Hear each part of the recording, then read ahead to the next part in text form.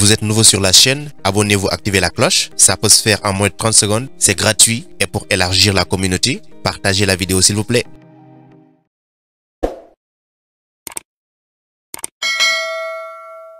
Alors, chers amis, ravi de vous retrouver pour une nouvelle vidéo, toujours pour le meilleur du Barça. Alors, normalement, une vidéo devait sortir aujourd'hui 15 minutes avant le match, mais j'avais des contraintes de temps, raison pour laquelle je l'ai pas sorti. Donc, on va tout résumer dans cette vidéo. Les infos, les deux compositions d'équipe, mais également tout ce qui s'est passé dans le match. Ce sera dans la vidéo d'après-match entre le FC Barcelone et Elche. Donc, sans plus tarder, l'intro et on verra tout cela ensemble.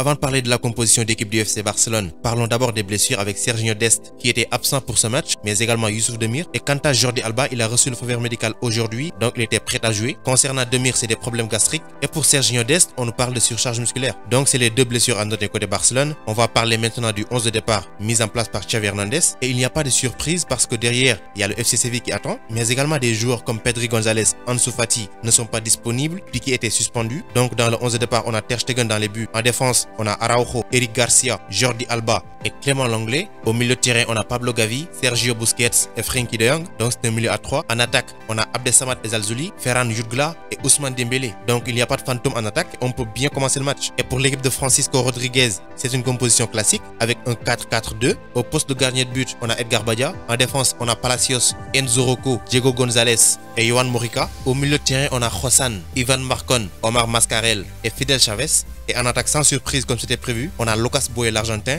et Lucas Perez. Donc dans les premières minutes, on a vu un FC Barcelone très concentré et très engagé. C'est ce qu'il nous fallait en tout cas. Et quand je le dis, ça paraît bizarre, mais le Barça a du talent. Et si on compte sur les talents individuels, on peut s'en sortir. Parce qu'au début de la saison, personne ne connaissait Abdé. Et pourtant, il a du talent exceptionnel. Et ça fait deux matchs maintenant qu'on voit un autre joueur, un autre jeune, c'est Ferran Jutgla. Il a fait un début de match exceptionnel. Il a marqué un premier but, refusé malheureusement pour hors-jeu. Et c'était justifié. À la 16e minute, il marque encore pour le FC Barcelone. Donc c'est des joueurs qui sont très jeunes et qui sont très importants, sur qui le Barça devra compter, mais n'empêche, on doit se renforcer en janvier. C'est très important. Et en est qu'à la 19e minute, c'est un autre joueur qui marque, il n'a que 18 ans, c'est Gavi. Ça peut étonner certains, mais en ce qui me concerne, je suis certain que ces jeunes, combinés à des joueurs capables et expérimentés, le Barça pourra s'en sortir très vite et sans problème. Et franchement, aujourd'hui, dans les 30 premières minutes, on a vu un très bon Barça, mais également un Barça qui prend des risques et qui pose le ballon. C'est très important pour la confiance. Il y a moins de gâchis par rapport aux autres matchs, mais on doit noter aussi le match de Ousmane Dembélé dans les premières minutes. Il a été passeur décisif, mais également auteur d'un match exceptionnel, tout comme Abdel Samad sur l'autre côté. En tout cas, ils ont été fantastiques, surtout les jeunes, Gavi, Ezal Zouli,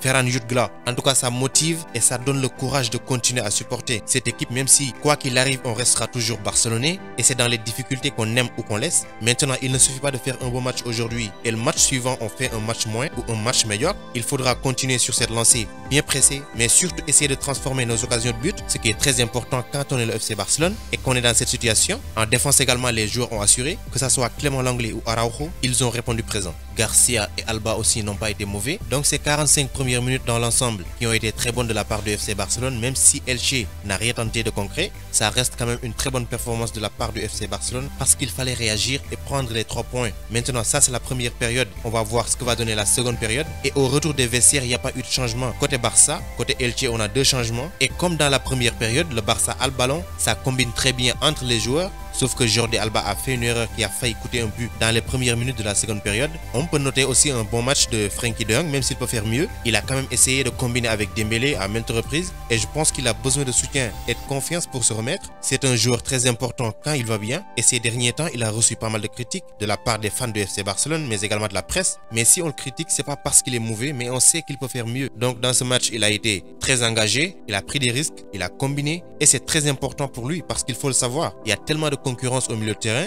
et si son niveau est bas, il peut se retrouver sur le banc ou même sur le marché des transferts. Maintenant, comme d'habitude, il faut qu'on encaisse un but pour être content. C'est ce qu'on fait à la 73e minute. On a levé le pied, Elche en a profité pour marquer son premier but. C'est Titi Morente qui trompe Ter Stegen. Quelques secondes plus tard, on encaisse un deuxième. Et c'est ça le problème du Barça, c'est-à-dire la gestion. On a un problème de gestion très profond. On ne parvient pas à garder les scores et à chaque fois on encaisse des buts qui sont évitables. Et c'est un aspect qu'on doit rectifier. Si à chaque fois qu'on marque un but, la défense l'encaisse derrière, ça pose problème et ça donne de la confiance à l'adversaire qui dans sa tête va se dire qu'il y a quelque chose à faire et ils vont exploiter ces trous. C'est ce qu'on a fait face à Osasuna et on le répète aujourd'hui, c'est-à-dire qu'on n'apprend pas de nos erreurs.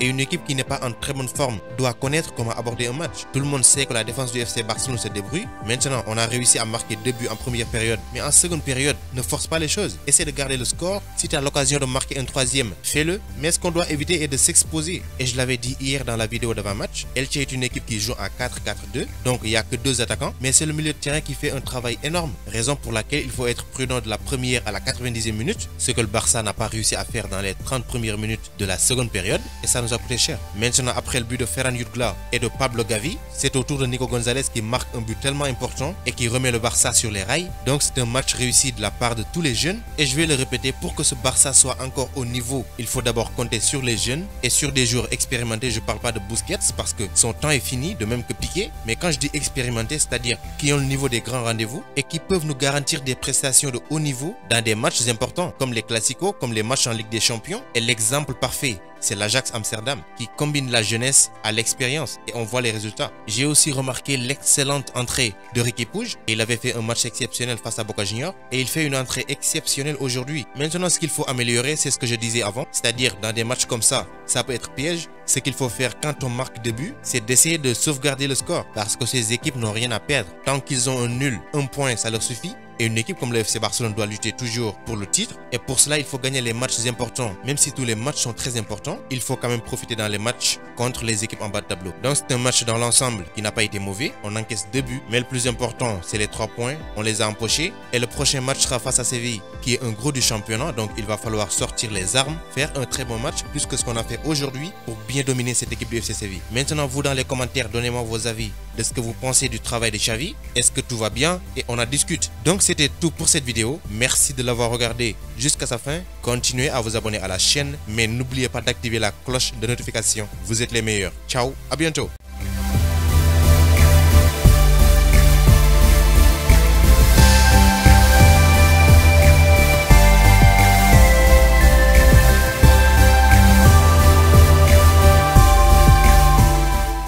Vous êtes nouveau sur la chaîne, abonnez-vous, activez la cloche. Ça peut se faire en moins de 30 secondes. C'est gratuit et pour élargir la communauté, partagez la vidéo s'il vous plaît.